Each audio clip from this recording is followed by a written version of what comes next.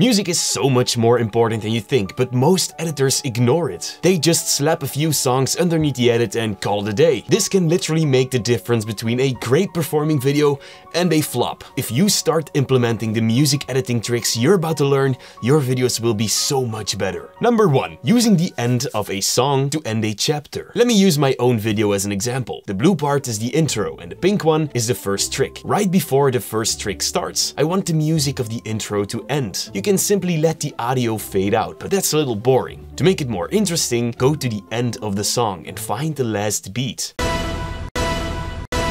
Then by using the razor tool, add a cut on that beat. Now you need to trim the song all the way to the intro and then snap the end against the first audio clip. This will give the viewer a feeling like they're moving on and will refresh their view. Some of these features are brand new and I want you to guess them in the comments below. Number 1. Filler word detection. Premiere can... It will excite the viewer and that's exactly what you want. Now sometimes your song doesn't have an ending that fades out. In that case, I've got another trick for you. We're gonna use some reverb. So first find a sound like a kick, snare or hit sound. Then add a cut right before it. Next, hold down control on your keyboard and click on the volume fader to create two keyframes. Grab the second one and drag it all the way down so that the music ends harsh. Now this is where the reverb comes in. Find the convolution reverb in the effects library and drag it on your song in the timeline. Then head over to the effect controls and click on edit to open it up. Luckily in the preset list, you will find a perfect one called Bitter Hallway. This will give the audio a smooth fade out. In the comments below. Number 1. Filler word detection. Premiere can automatically detect... That sounds amazing. Now let's take a look at number 3. Music in contrary. Contrary music is for example pairing a happy and upbeat song with for example a scene of a funeral. This can create a funny or ironic effect.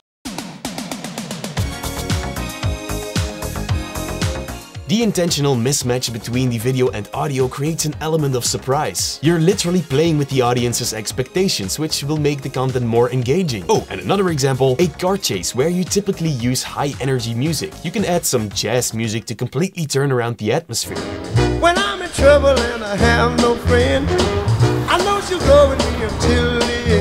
This will again make it humorous and ironic. Trick number 4. Make the viewer feel like they're at home. The best way to achieve this is to add recognizable elements into your videos. You can do that by using mainstream music that a lot of people already know. And yes, you can use famous songs like Attention from Charlie Puth without having to worry about copyright issues. The sponsor of today's video, Lickd, can hook you up with a wide range of over a million mainstream tracks and over 100,000 stock tracks. There are more than enough tracks you can use for every situation. When you're using using mainstream music, it helps you connect with your audience. And this will in turn lead to a better retention because people stick around longer. You make them feel like they're at home, remember? Now, because of Lickd's huge catalog, us content creators and filmmakers can find the special tailored piece of music that we need. You can even use songs from Linkin Park, Nicki Minaj, Coldplay, or Bruno Mars, just like the one you're hearing right now. And that while being protected from copyright strikes and not having to worry about demonetization. I can't stress this enough, music has a huge impact on your edits. So if you want to start enhancing your content today with mainstream music, sign up now and you'll receive an incredible discount including 14 days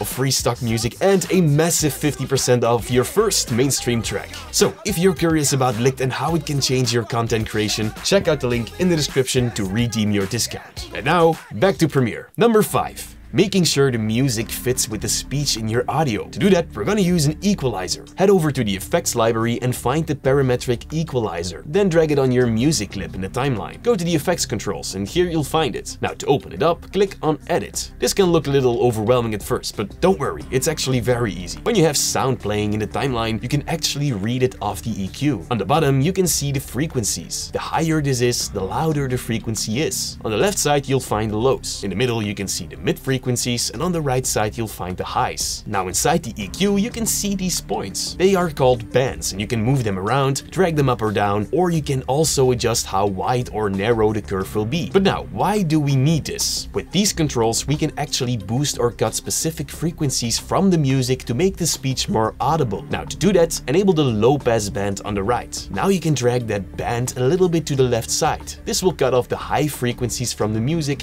which means you're making space for the speech to come through more easily. Great, but you can make it sound even better. The low frequencies from the music and your voice can easily clash with each other, which makes everything sound muddy. To fix that, you can cut away a part of the low frequencies of the song. This time, enable the high pass band. Then drag the band a little to the right side. But we can't animate them because you simply can't drag any effect. And there you go, that sounds amazing. Trick number 6. Making the music duck when a speaker is present. Here we can see two audio tracks. On the first one you can see a clip with speech on it. On the bottom track there's a song playing. Now every time the speaker comes in, I want the music to duck. Premiere actually has a feature to do this automatically. First, select the speech clip in the timeline and go to the window menu on top. Find Essential Sound panel and once it's open, click on Auto Tag. Premiere will automatically detect your clip as speech. Now go back to the timeline and select the music clip. Then back in the Essential Sounds panel, click on Auto Tag again. Now scroll all the way down to Auto Ducking. When you're there, make sure it's enabled. Then on the bottom, find the Generate Keyframes button and click it. Now as you can see, these keyframes did appear on the music clip. The music will now be quieter when the speaker is speaking. If you want to adjust the ducking settings, you can do that as well with the sliders in Essential Sound. Isn't that great? Trick number 7. Premiere can automatically synchronize shots of your music video with the beats of your song. This can actually be done very easily and you can learn everything about it in the video right here on my left. Thank you guys so much for watching and as always, stay creative.